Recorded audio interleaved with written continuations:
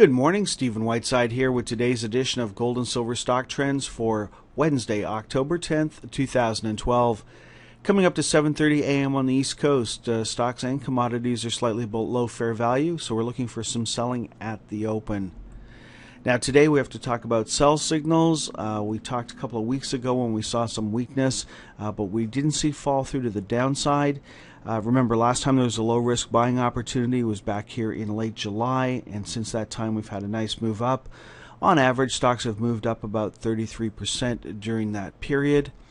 Uh, this is the first time we've closed below the lower channel line. We certainly traded through it, we traded down to it, but this is the first time we've closed below the channel line since the lower channel line since late uh, July, and that, of course, generates a new sell signal. Uh, looking at who's in control, the uh, pros are giving up control.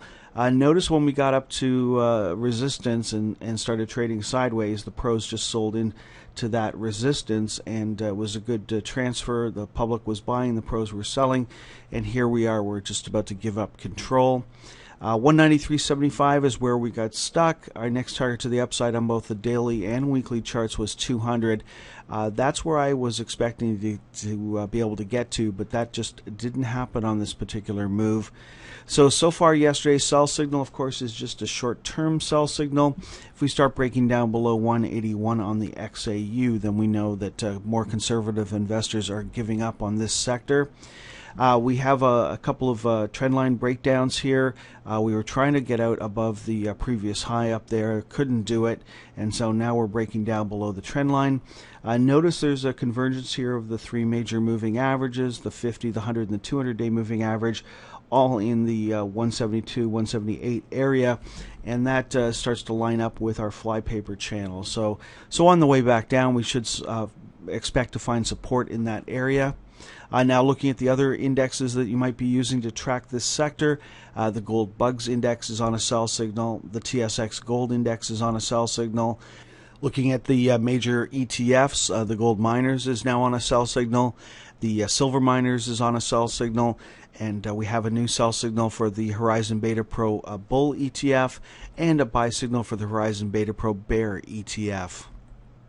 Next up, uh, let's walk through the stocks listed in the XAU and uh, the stocks that are traded on both sides of the border. Uh, there are some stocks still waiting for sell signals. Agnico Eagle in Canada, we're looking for close below 50.65. In the U.S., 51.80. Uh, looking at Anglo Gold already on a sell signal. We've got Barrick on a sell signal on both sides of the border. Uh, still waiting for a close below 28.06 for Coeur d'Alene in New York. 2757 in Toronto.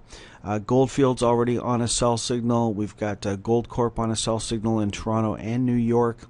Uh, Harmony Gold was already on a sell signal. Uh, Kinross, we're looking for a close below 1004 in Toronto and 1029 in New York. For Newmont, we're on a sell signal as of yesterday's close. For uh, Pan American Silver, we're on a sell signal in Toronto and New York. For Randgold, we're looking for a close below uh, 121.98. For Royal Gold, we're on a sell signal as of yesterday's close. For Silver Standard, we were on a sell signal already, both in Toronto and New York. For Silver Wheaton, we're on a sell signal as of Tuesday's close, both in New York and Toronto. And for Yamana, we're on a sell signal in both New York and Toronto. Last up this morning, quick look at the 60 minute charts for the XAU.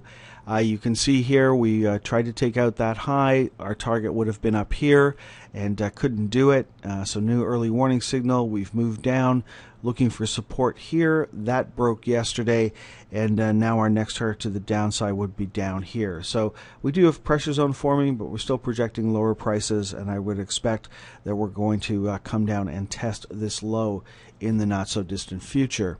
Now, we are now back below the flypaper channel. That, of course, means that the bears are back in control.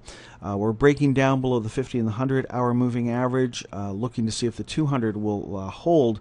But uh, then again, our next target to the downside is down here, and that, of course, is below the 200 hour moving average. And that, of course, would be bearish if we start trading below that.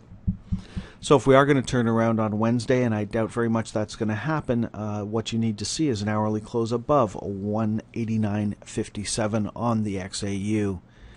Okay, folks, that's all for today's look at the gold and silver sector. Uh, a couple of weeks ago, it looked like we were going to generate new sell signals, but we didn't see fall through to the downside. Uh, couple of weeks later, here we are. We do have those sell signals, and so we've had a wonderful time in this sector over the past couple of months. Average gains about 33% since late July, and uh, so if you haven't been taking money off the table, up to this point, uh, you would certainly want to exit those positions now and uh, lock those profits in for any symbol that has generated a new daily sell signal. Have a great day, and we'll talk to you again soon.